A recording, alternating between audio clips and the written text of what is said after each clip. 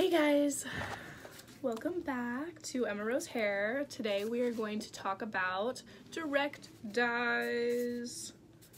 Let me write this down. Direct dyes. Yay, I love it. So, what is a direct dye? It's any sort of color that might be one of these.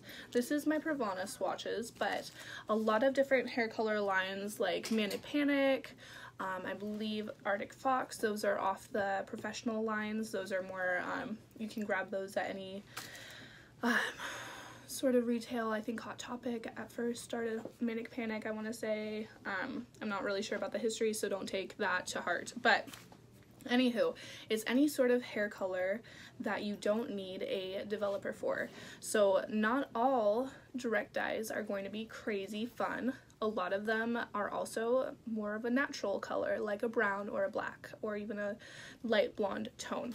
So, what's the difference between a direct dye and a regular permanent hair color?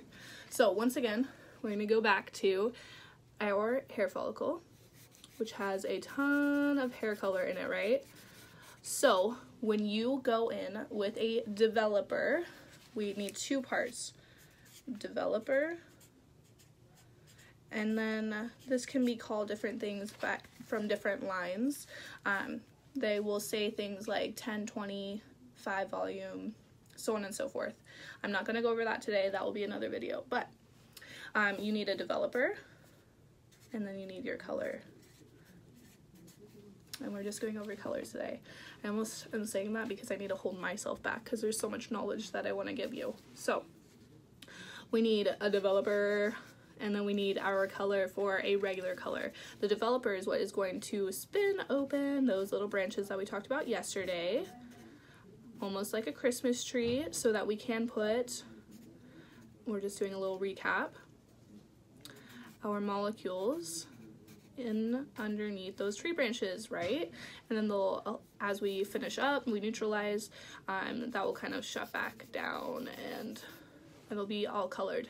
So we're putting that in there. The prob, or not the problem, but uh, the difference between a direct color, which once again, can sometimes look like this, but we have natural versions of this as well, and something that looks like this, even though we do have fun bold colors that aren't called or considered direct dyes.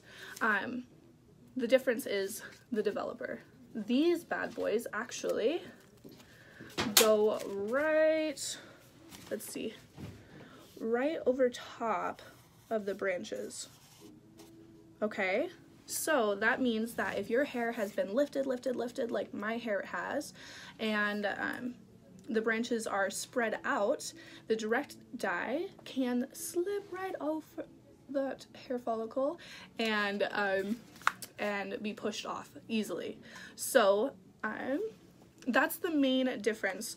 That's why we definitely need a proper shampoo and conditioner because once again, like we were talking about yesterday, when you put water onto your hair, it opens up those branches and your hair color can come off. Um, so using a great shampoo and conditioner can kind of help to lock and seal that back in. Um, it's also why, it, especially with hair color lines like Elumen, I'm sure you've heard that name before, it's a fantastic dye. It does not want to come off of the hair follicle, but it's super hard to get off um, because when we go in with bleach, we are, we're trying to get out this color, okay? So like my hair. But if I put like say what is this? Locked in yellow, okay? So if we put yellow on top of my hair with Elumen, it is actually going to sit out here. So if I'm bleaching this, it's just going to push these, which will inherently take this color off, but my hair is going to not be happy. So we have specific, hey Jen, um, we have specific ways of getting the hair color off of the hair. Things like um, color removers, which are fantastic for what they're for. Um, that's why my hair underneath blue, which you do need your hair to be almost white, was super easy to get this because I just used a color remover did a light bleach wash, toned it, and voila. Because underneath blue, if you have a gold base, it makes green.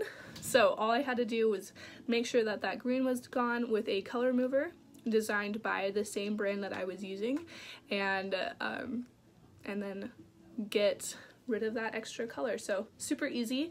Um, direct dyes are awesome. They're actually ammonia free, so they're a lot, in my opinion, safer than a lot of different hair colors, which you would think would be the opposite because they are things like orange and red and green and yellow and purple and blue.